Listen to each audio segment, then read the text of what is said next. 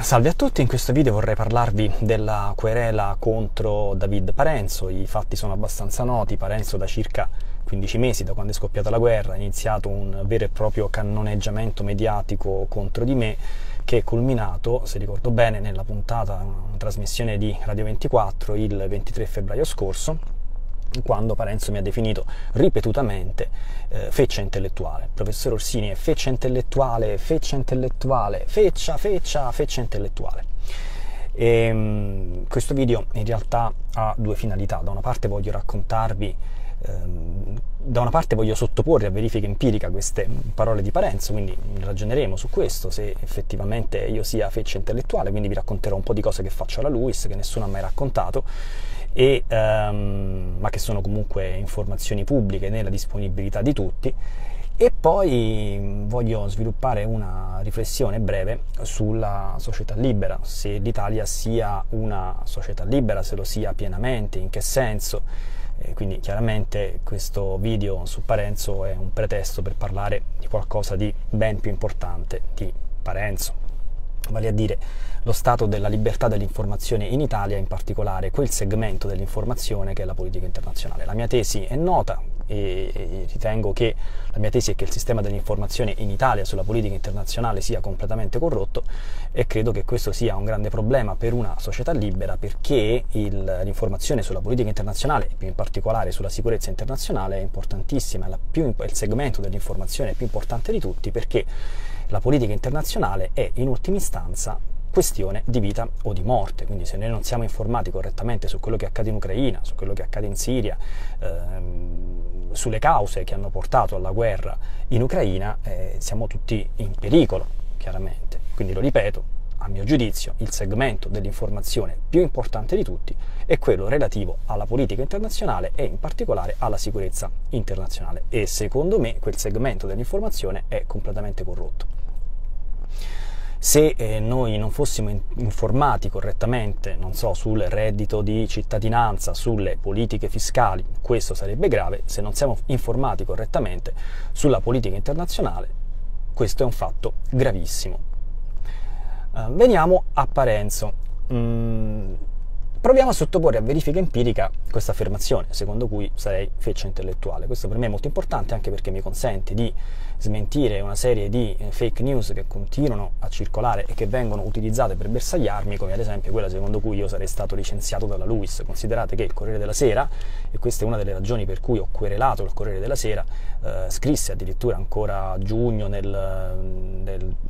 celebre, o forse dovrei dire famigerato articolo sui putiniani d'Italia, che la Luis mi aveva licenziato, così ha scritto nero su bianco. Questo è assolutamente falso, quindi allora iniziamo. Innanzitutto che cosa io faccia alla Luis, è importante saperlo. Alla Luis la Luis ha investito eh, per quanto riguarda gli studi sulla sicurezza internazionale soltanto su una persona finora. L'unico professore di ruolo della Luis, esperto in violenza, conflitti, eh, sicurezza internazionale in senso ampio, è il sottoscritto. E, ehm, quindi sempre per sottoporre a verifica empirica questa tesi di Parenzo secondo cui io sarei feccia intellettuale. Prima che io arrivassi alla LUIS, prima che io fossi chiamato come professore di ruolo, alla LUIS non esistevano ricerche scientifiche sulla sicurezza internazionale, sostanzialmente gli studi sulla sicurezza internazionale non erano coltivati e non, esiste, non esistevano corsi eh, di laurea dedicati alla sicurezza internazionale. Tutto questo alla LUIS si è sviluppato dopo il mio arrivo e um, io ho iniziato alla LUIS a insegnare come professore a contratto nel 2010, sono diventato poi professore di ruolo nel 2016. Alla LUIS ho portato una quantità di fondi per lo studio, per la ricerca eh, della sicurezza internazionale enormi, una, fondi spaventosamente grandi e, e la LUIS ha scoperto eh, grazie ai miei studi e grazie ai miei corsi che il settore di studi sicurezza internazionale era un settore di studi molto importante su cui valeva la pena investire. Quindi il corso di laurea magistrale della LUIS in Security Studies è nato dopo il mio arrivo alla LUIS, così come tutto quello che la LUIS ha fatto nel campo della sicurezza internazionale è arrivato dopo il mio uh, arrivo come professore di ruolo in quell'università. Allo stato attuale, mentre vi parlo, nel maggio del 2023, sempre per sottoporre a verifica empirica questa tesi di Parenzo, secondo cui sarei feccia intellettuale, allo stato attuale, mentre, parlo, mentre vi parlo, maggio 2023, alla LUIS continua a esistere un solo professore di ruolo specializzato in, in guerre, violenza, terrorismo, eccetera, che è il sottoscritto.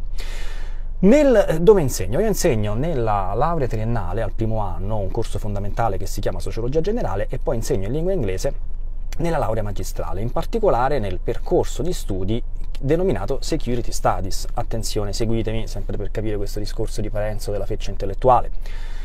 In quel, segmento, in quel corso, in quel percorso di studi, quello in Security Studies, il mio corso in lingua inglese si chiama, è definito Track Leader, cioè significa che il corso più importante. Infatti in quel segmento particolare, in quella magistrale, ci sono tre professori. Due sono professori a contratto, uno soltanto è un professore di ruolo, cioè il sottoscritto. I professori a contratto sono uh, professori non della LUIS, sono professori che hanno un contratto di diritto privato che dura 12 mesi, che può essere rinnovato oppure no. In alcuni casi il professore a contratto è un professore di ruolo di un'altra università,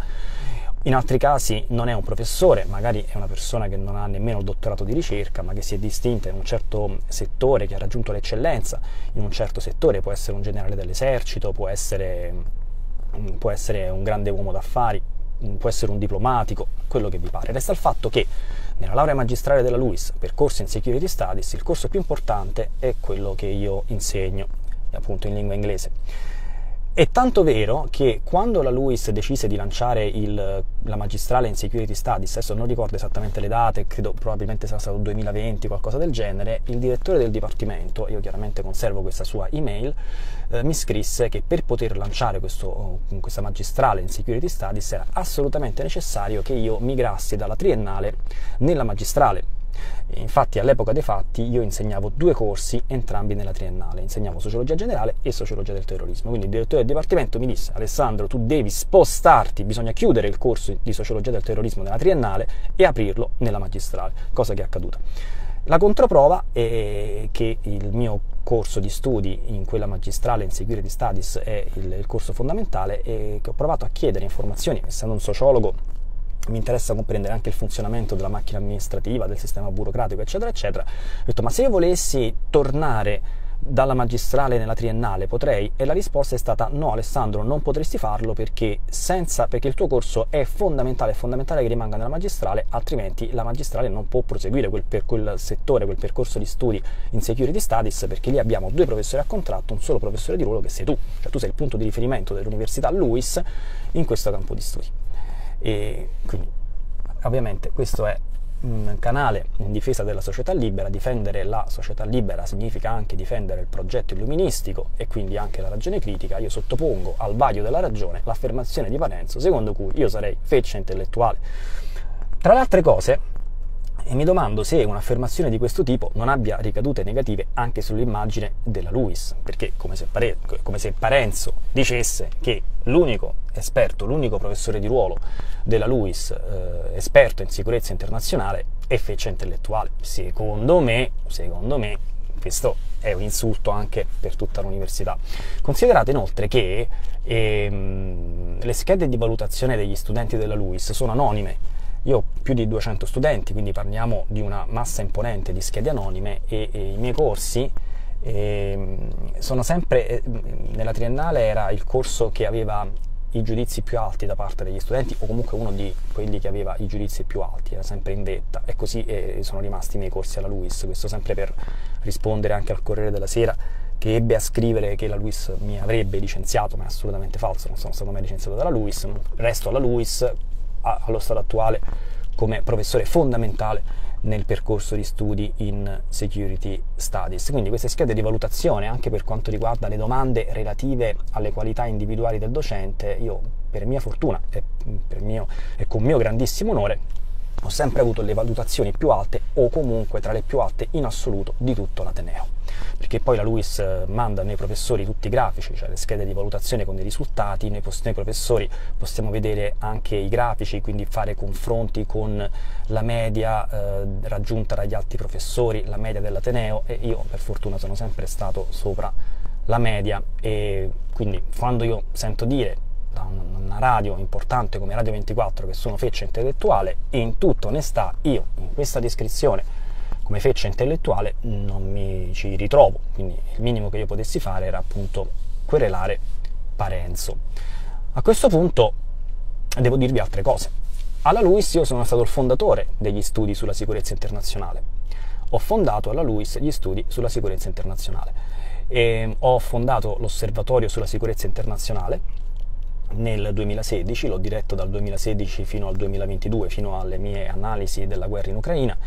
e eh, a differenza di quello che ha scritto la stampa, assolutamente falso, infatti ho querelato anche la stampa. Per questo, eh, la stampa ha scritto l'osservatorio sulla sicurezza internazionale della LUIS non ha prodotto niente in sei anni, una menzogna assoluta, l'osservatorio di cui sono stato direttore ha prodotto moltissimo, ha pubblicato monografie accademiche, ha pubblicato articoli che sono stati pubblicati su riviste scientifiche eh, considerate eccellenti dal Ministero dell'Università, ha pubblicato più di 13.500 articoli sulla politica internazionale perché oltre ad avere fondato l'osservatorio sulla sicurezza internazionale, alla LUIS ho fondato anche il, il primo quotidiano in Italia sulla sicurezza internazionale che si chiamava appunto eh, sicurezzainternazionale.luis.it che ha pubblicato oltre 13.500 articoli in un lasso di tempo relativamente breve, cioè tra il gennaio del 2017, se ricordo bene, fino alla chiusura dell'osservatorio e quindi anche del sito che è avvenuta intorno al mese di maggio del 2022.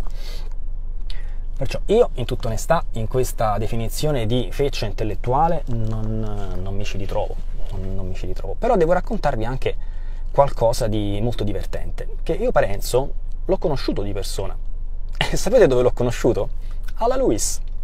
perché i vertici dell'università mi chiesero di partecipare a un incontro con Parenzo. Nella sala più importante della LUIS c'erano anche altre 15-16 persone, c'erano fondamentalmente i vertici della LUIS, un pezzo dei vertici della LUIS, e perché Parenzo voleva avviare, adesso non so se lo abbia avviato realmente, ma il senso della riunione era che Parenzo era coinvolto in un progetto della LUIS, ripeto, non so quale sia, quale sia, la natura dei rapporti tra Parenzo e la Luis, non so se poi dopo questo progetto lo abbia realizzato davvero, comunque può, i giornalisti possono chiedere, io con mio grandissimo onore so che questo canale è seguito anche da tanti giornalisti, quindi uno può fare anche un'indagine e chiedere ma qual è la natura dei rapporti tra Parenzo e la Luis? E nel caso in cui Parenzo abbia eh, con la LUIS, un rapporto di collaborazione, partecipi a un progetto. Simile, un simile rapporto di collaborazione è compatibile eh, con una persona, Parenzo nello specifico, che dice che i professori della LUIS sono feccia intellettuale? Non lo so se la LUIS abbia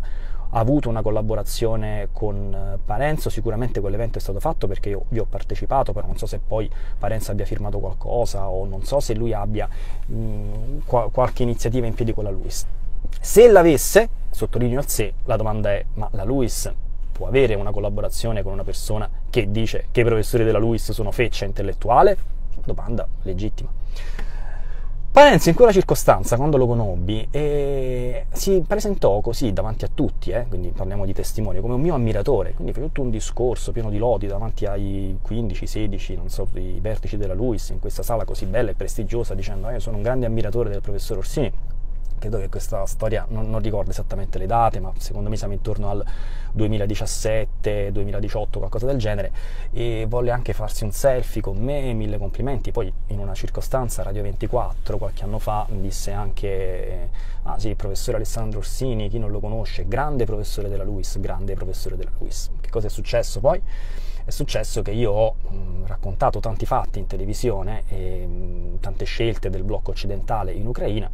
e queste mie analisi non sono piaciute perché hanno mostrato quanto sia corrotto il sistema dell'informazione in Italia sulla politica internazionale, quindi io sono passato da essere un professore stimatissimo e dalle stesse persone che, eh, cioè le stesse persone che un tempo mi stimavano moltissimo, oggi invece mi insultano violentemente. A me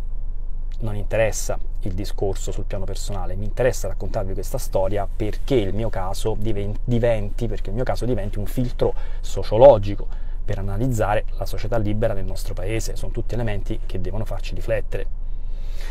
A questo punto io vorrei spostare il discorso su un piano strettamente culturale. Finora in questo canale YouTube, in tante altre circostanze, io ho fornito un'ampia documentazione a sostegno della mia tesi, secondo cui il sistema dell'informazione in Italia sulla politica internazionale è corrotto dalla testa ai piedi. Adesso però voglio, anche a causa della compenetrazione tra il potere politico, il potere accademico, il eh, potere mediatico, adesso voglio fare un discorso però esclusivamente culturale. Ma vi rendete conto che il nostro paese non è in grado di accogliere la critica della politica internazionale. Così come esiste una critica della politica fiscale, una critica della politica del lavoro, esiste, o meglio dovrebbe esistere, in una società libera anche la critica della politica internazionale. Il fatto che le mie analisi sulla guerra in Ucraina abbiano prodotto una campagna di demonizzazione così violenta, così pervasiva e così duratura, che cosa significa? Significa che il nostro paese non è educato a criticare la politica internazionale e questo è gravissimo in una società libera perché la società libera è la custode del progetto illuministico e il progetto illuministico ha come pilastro la ragione critica. Questo significa che il sistema dell'informazione in Italia è talmente corrotto che ha prodotto un pensiero unico. E la dimostrazione che è completamente corrotto è, proviene proprio dalle reazioni violente contro le mie analisi. Cioè noi viviamo in un paese che dichiara di essere una società libera, che è violentemente intollerante verso uno studioso, un esperto della materia, che dica che documenti che documenti con tanto di eh, riferimenti bibliografici, citazioni, dati, date, il fatto che la Nato abbia cercato di assorbire l'Ucraina nel proprio seno prima che la Russia invadesse l'Ucraina. Io ci tengo a precisare che tutto quello che ho detto in televisione è frutto di ricerche accademiche. Cioè io ho condotto ricerche accademiche poi confluite nel mio libro Ucraina critica della politica internazionale Paper First, che tra l'altro presenterò al Salone del Libro di Torino il 19 maggio, ho ricostruito le relazioni conflittuali tra la Nato e la Russia dal um, 1999 sostanzialmente fino ai nostri giorni e sono giunto alla conclusione che l'espansione della Nato in Ucraina ha creato un problema molto serio con la Russia. Per avere detto questo, sono stato oggetto di una violenta campagna di demonizzazione e questo fa riflettere sullo stato della libertà del sistema dell'informazione in Italia sulla politica internazionale. A questo punto vorrei concludere con una serie di ringraziamenti. Vorrei ringraziare tutti coloro che si sono iscritti a questo canale, siamo più di 51.500 vi ringrazio con tutto il cuore, ogni iscrizione per me è un gesto di affetto, di vicinanza, di, di, stima e di solidarietà di cui sono molto grato, che mi dà anche poi la forza di impegnarmi su YouTube. La ragione per cui non esistono pubblicità nei miei video è perché sono io che non le voglio. Mi sono state proposte, avrei potuto monetizzare, potrei monetizzare, ma ho detto di no, è tutto gratuito Ovviamente io sono assolutamente favorevole alle pubblicità nei canali YouTube, anzi ci sono persone che lo fanno, io sono ben contento che qualcuno eh, crei posti di lavoro, ehm, crei ricchezza o si procuri una fonte di guadagno per poter campare con i video YouTube, quindi non è assolutamente una critica nei confronti di coloro che inseriscono le pubblicità, però ci tengo moltissimo che voi sappiate che non trovate pubblicità nei miei video non per un caso, ma perché sono io a non volerle. Quindi grazie di cuore a tutti coloro che sono iscritti a questo canale, mi scuso ancora di realizzare soltanto un video alla settimana, mi rendo conto che sono piuttosto assente, ma come ho detto in più di un'occasione, in questo momento sono completamente assorbito, ormai da molti mesi, nella scrittura del mio nuovo libro, è un lavoro iper impegnativo, quindi spero presto di poter tornare a commentare più spesso, vorrei anche realizzare, magari non fra una settimana, spero di riuscirci prima, un video per parlare di quello che sta accadendo in Ucraina. Grazie, grazie davvero e a presto.